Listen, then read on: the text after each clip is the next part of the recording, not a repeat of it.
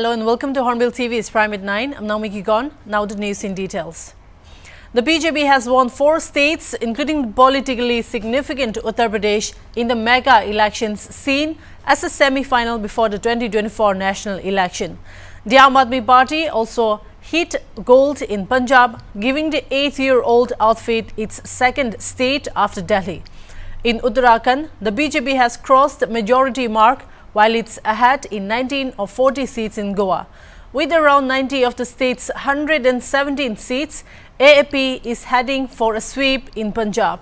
The people of Punjab have done something spectacular. This has been a huge revolution. So many huge leaders have lost. Amarinder Singh has lost, Sukhbir Badal lost, Parkash Singh Badal lost, Charanjit Channi lost, Navjot Sidhu lost, Bikram Singh Majithia lost, this is nothing short of a massive, massive revolution, Arvind Kejriwal said. In Uttar Pradesh, the BJP has crossed the 270 mark in the latest trends. The party is firmly ahead of Samajwadi Party and Yogi Adityanath set for a second consecutive term as Chief Minister. The majority mark in the 403-member Legislative Assembly is 202.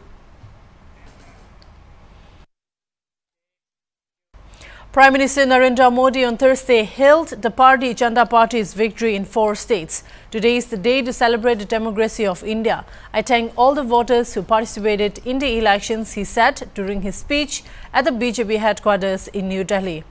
BJP workers promised we will celebrate Holi earlier early this year. I salute the hard work of our party workers and supporters, the Prime Minister said. Prime Minister Narendra Modi launched an all-out attack on the opposition over Ukraine crisis, saying some parties tried to create insecurity among Indian students who were being evacuated from the war-hit country. The party Janata Party registered a phenomenal performance in four states of Uttar Pradesh, Uttarakhand, Goa and Manipur. The Saffron Party and its allies were leading on more than 270 seats in UP, retaining the state for the second time. और पूर्वोत्तर सीमा पर एक राज्य। भाजपा को चारों दिशाओं से आशीर्वाद मिला है।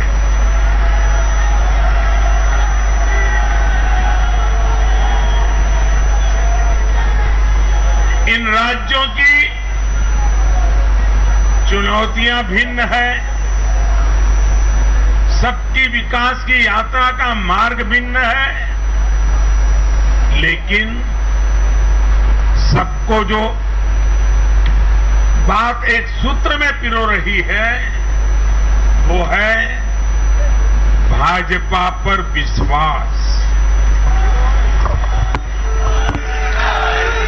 भाजपा की नीति, भाजपा की नीयत और भाजपा के निर्णयों पर अपार विश्वास। Aam Aadmi Party National Convener Arvind Kejriwal on March 10 congratulated party Chief Minister candidate Bhagwant Mann as the party is heading towards a landslide victory in the Punjab Assembly elections. I'd like to congratulate my younger brother Bhagwant Mann for becoming Punjab Chief Minister. AAP has crossed over 90 seats. Results are still coming. People have put a lot of faith in us. We won't break it. We will change this country's politics, said AAP convener Arvind Kejriwal. Bhagwant Singh मान जी को पंजाब का CM बनने के लिए बहुत बहुत बधाई देना चाहता हूँ।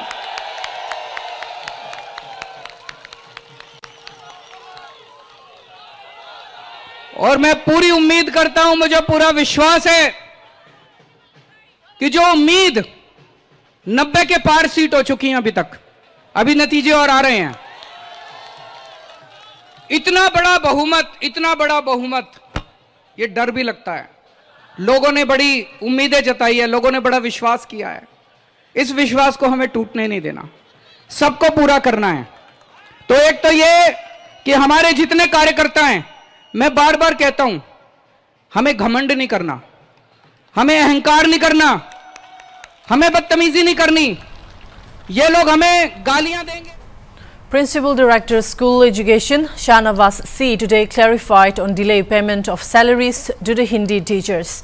He said the department had received authentication on February 25 from the Finance Department and the state notification reached the Directorate on February 26.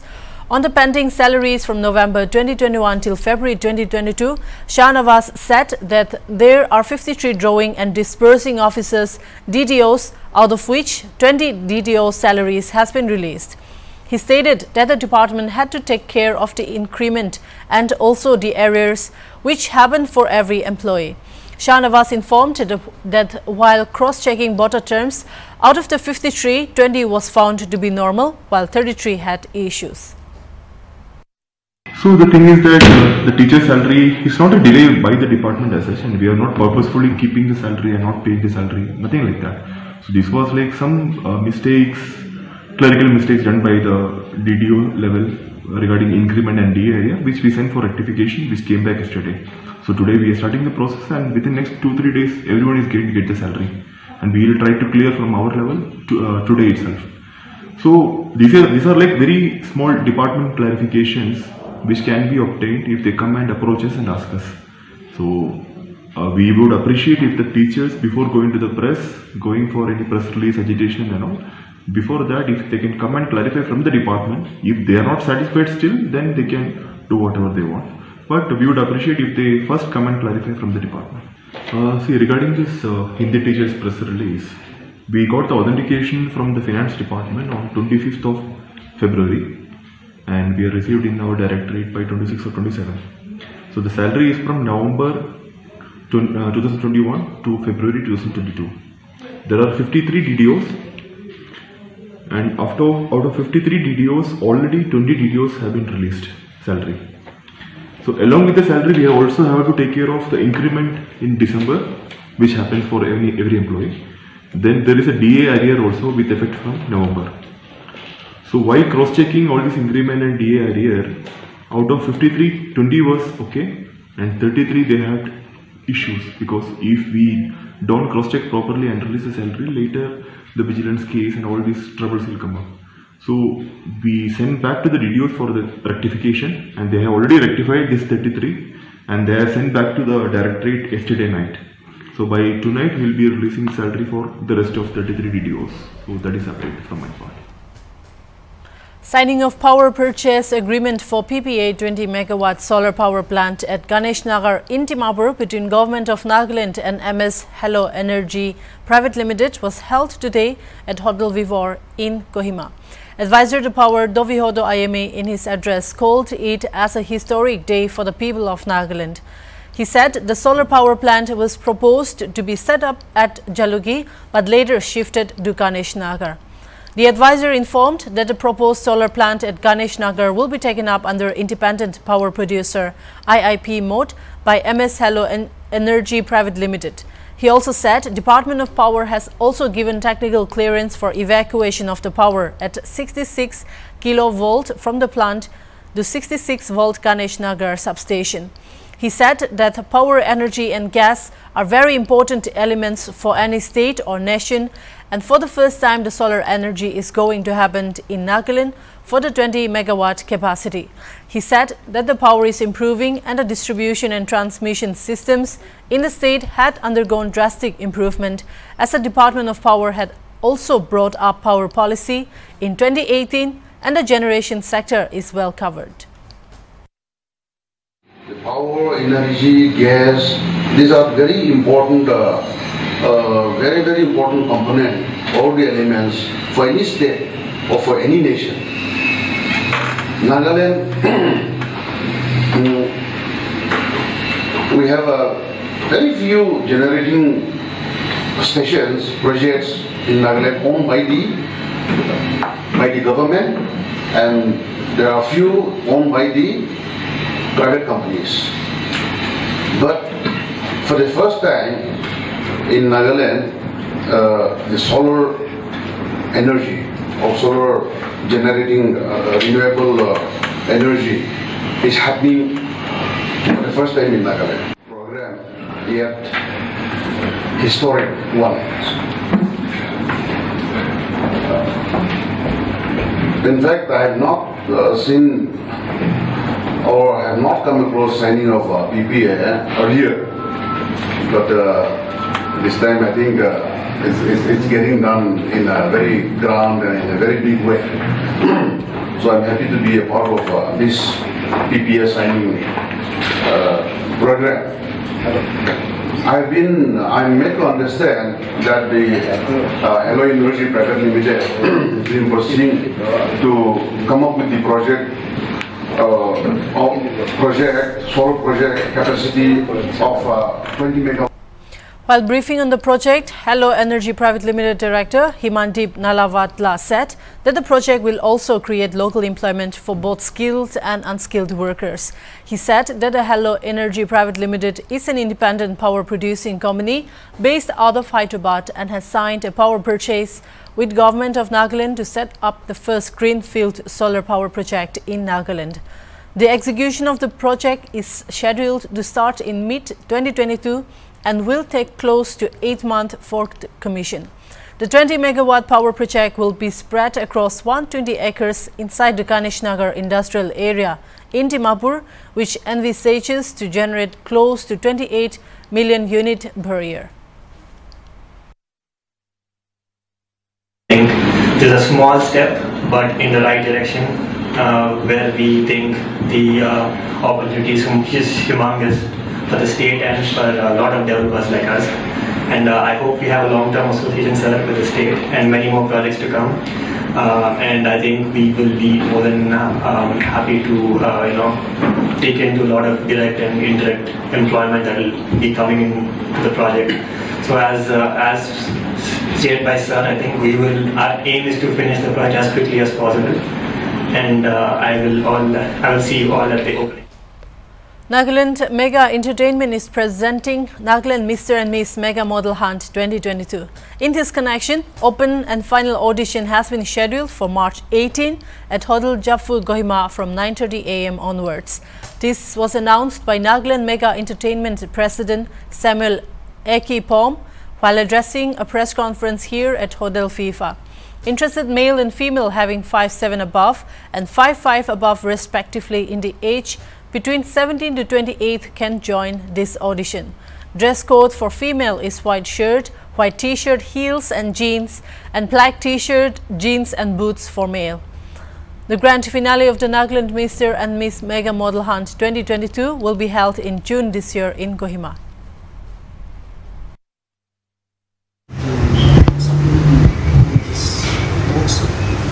This Nagaland Mega Entertainment is a platform where it prioritizes and promotes the youths, the young youths, giving them platform, and then the winner of this contest gets a direct entry to Mr. and Miss Notice, and then there are also promoted and given entry for Mr. and Miss India Club, where it is a golden opportunity for individual people who have the zealness, enthusiasm to get part of the fashion and modeling industry.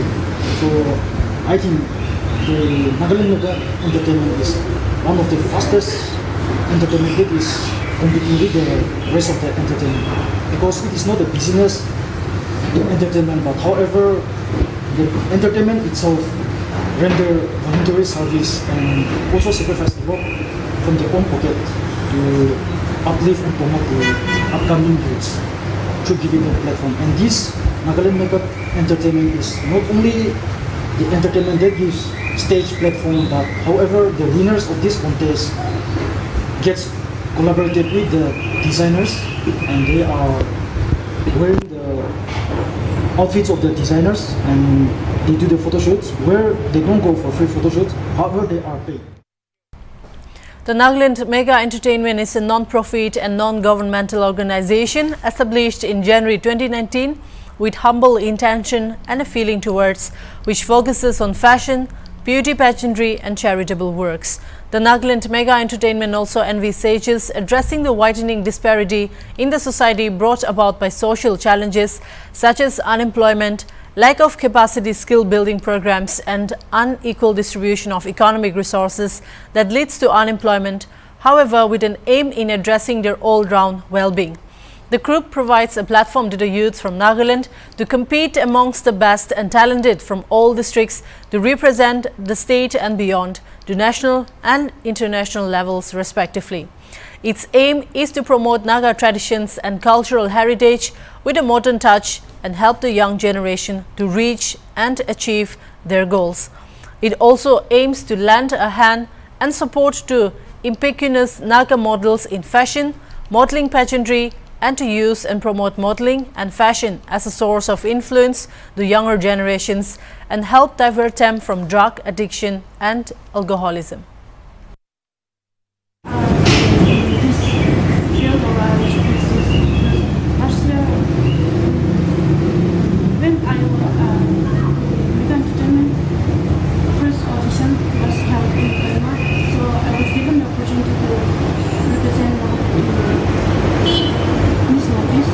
So at first I was a bit confused and I couldn't even walk properly, but sir, he mentored us personally in Dimapur on one whole day, and from there he taught us, he taught us how to speak and how to walk properly, and from there he gave us the idea and mm, some men- mentorship, and from there I was able to achieve and mm, let's say I was I, I never dreamed of that I'll be in this position right now or I'll be in city right now.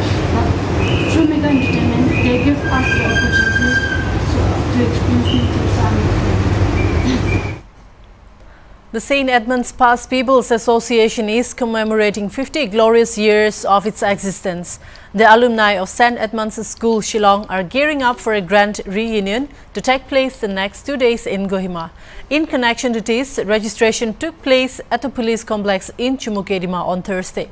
Every year, various locations are chosen for the celebrations, while the Nagaland chapter is taking place this year.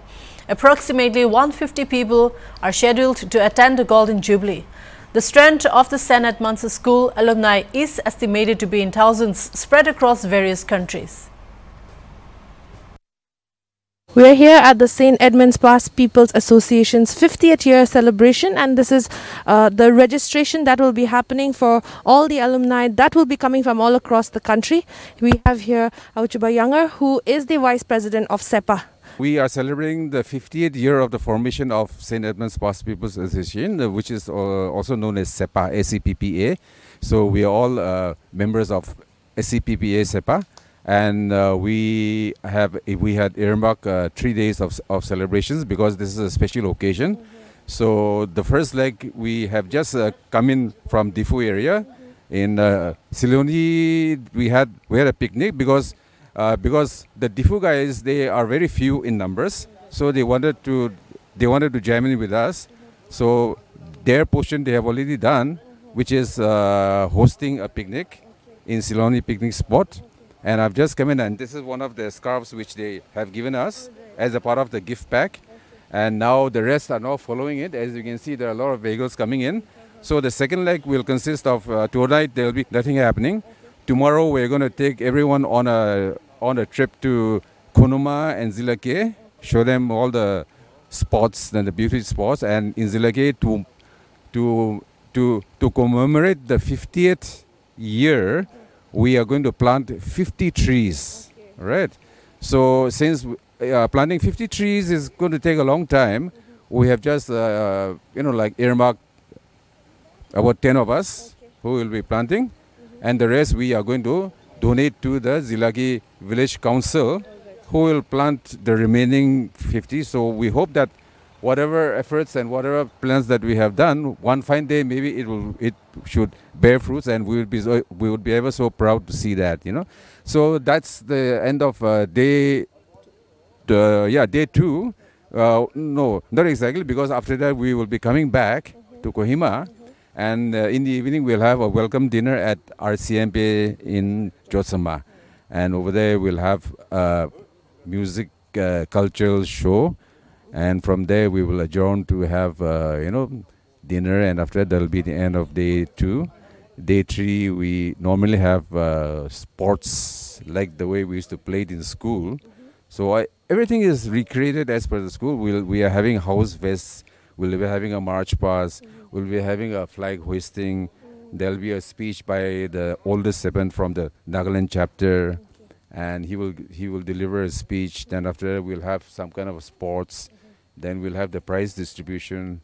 Then we have the lunch, and then we all again disperse. And after that, in the evening, we will all gather in Japfu Hotel, where there'll be music and you know dance, and that'll be the end of the grand celebrations. Yeah. And so, how many members are there in SEPA and in Nagaland? how many Well, yeah, you see, because our SEPA organization is worldwide, in fact, we had to push this we had to, uh, uh, what, uh, not postpone, yeah, we had to postpone it because of, of the COVID situation. We were supposed to have, have had it uh, last year because this association was formed in 1971. So, so, yeah, so we had to totally postpone the year. Nothing happened. And uh, we then we said okay now things are improving. So we will have it in the month of february.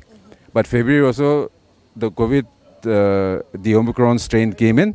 So we had to again further postpone.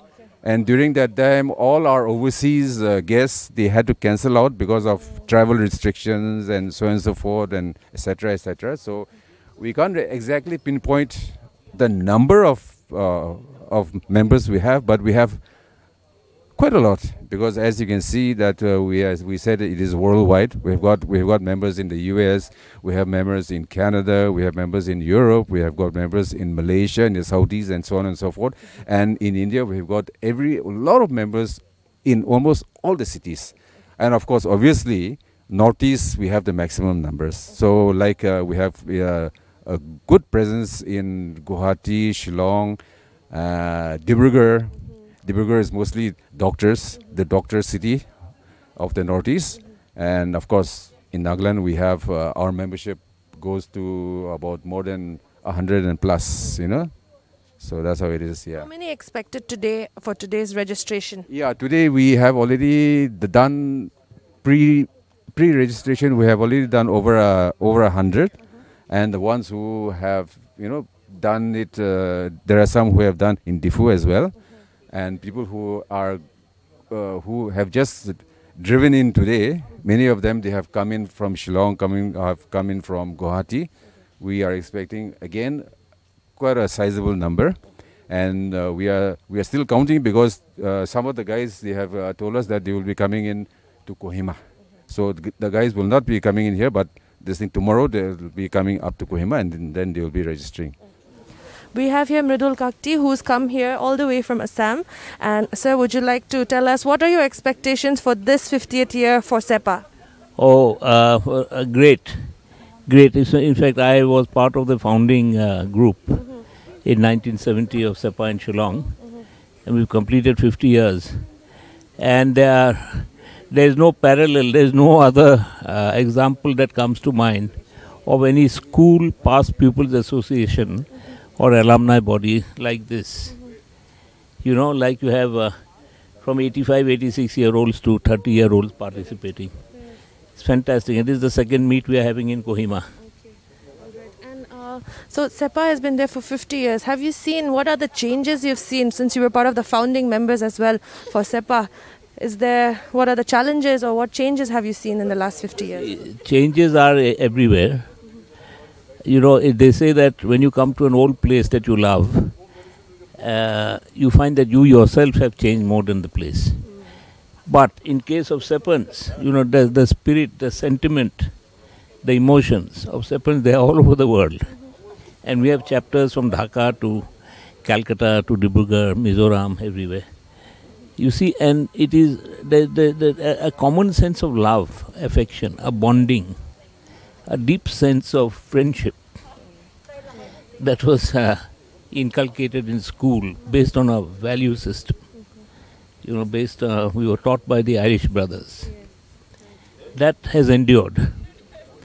Okay, and today you see this very spontaneous, you know, um, camaraderie, fraternity, very and we are very proud to uh, be part of it and experience it. That's why people come from. They come from Rajasthan. They've come from far away.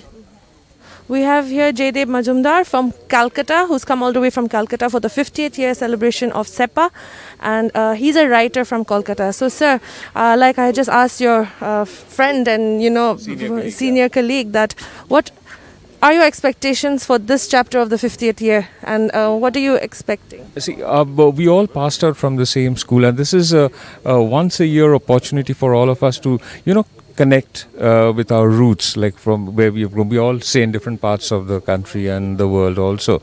And uh, once a year we get back and we, we, we relive our childhood, you know, those precious and golden years that, uh, and on top of that, what is also important is uh, we, we get to reinforce the values that we learned in school, uh, you know, in, in St. Edmund's uh, School, Shillong, run by the Irish brothers, the values of charity, of goodness and all. So that, that is very important. It's a sort of a, um, you know, moral uh, as well as fr- uh, friendship, bonhomie, as well as um, recharge our moral batteries, if one can say like that, you know. So that is what we look forward to every year. And of course, lots of funs and games and everything, but also that, uh, you know, reconnecting with the past. That's all we have for now. Keep watching Hornbill TV.